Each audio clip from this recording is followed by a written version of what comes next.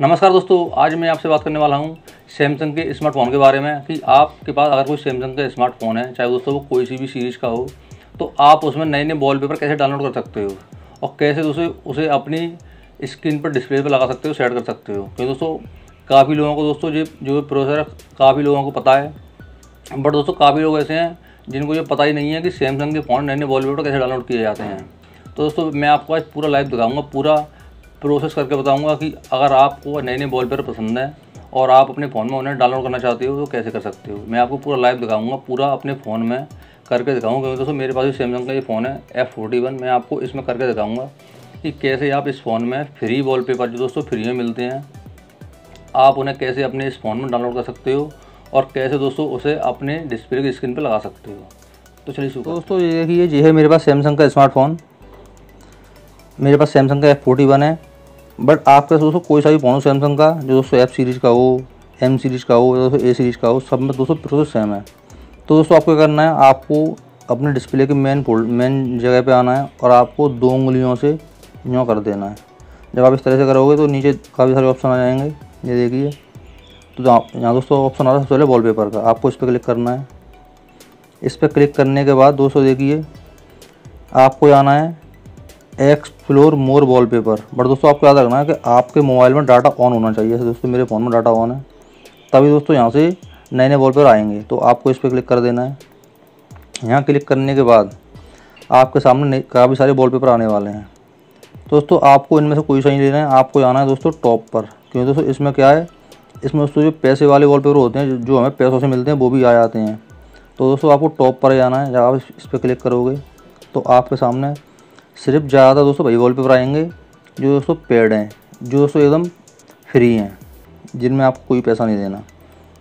तो दोस्तों देखिए यहाँ पर कई सारे वॉलपेपर हैं, आप चाहो तो ऊपर यहाँ पर इस पर जाके ऑल पर जाके दोस्तों यहाँ पे सिलेक्ट कर सकते हो कि आपको किस टाइप के फ्री वाले चाहिए या पेड वाले चाहिए। तो यहाँ पर दोस्तों ऑल हैं बट दोस्तों यहाँ पर ज़्यादातर फ्री वाले दिखाए जाते हैं। टॉप में आप क्लिक करोगे तो।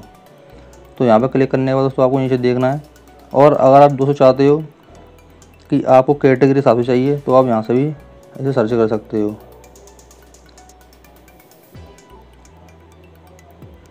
तो देखिए, दोस्तों देखिए, यहाँ पर कई सारे वॉलपेपर हैं, यहाँ पे बहुत सारे आएँगे। आप जितना स्क्रॉल डाउन करते जाओगे, उतने आते चले जाएँगे। तो फॉर एग्जांपल आपको मान के चलिए, आपको ये वाला वॉलपेपर पसंद है। आप मैंने, आप कोई सा भी कर लो, सबका डाउनलोड करने का प्रोसेस सेम है। तो आपको क्या करना है वॉलपेपर पर क्लिक करना है। क्लिक करने के बाद दोस्तों देखिए, इस वॉलपेपर की रेटिंग है, वो है फोर पॉइंट फाइव जो दोस्तों काफ़ी अच्छी रेटिंग है तो आपको उसको डाउनलोड पर क्लिक कर देना है। और डाउनलोड पर क्लिक करने के बाद ये डाउनलोड हो जाएगा तो आपको अप्लाई करना है। अब दोस्तों यहाँ पे ऑप्शन आ रहा है कि आपको ये वॉलपेपर अपनी होम स्क्रीन पर लगाना है या लॉक स्क्रीन पर या फिर दोस्तों दोनों जगह लगाना है।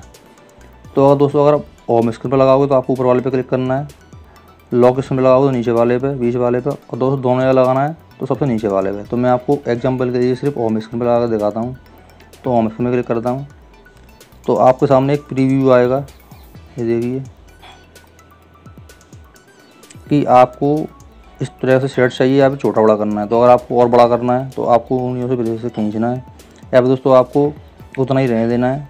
तो आपको ऐसे ही रहने देना है। इतना करने के बाद आपको सेट ऑन होम स्क्रीन पर क्लिक कर देना है।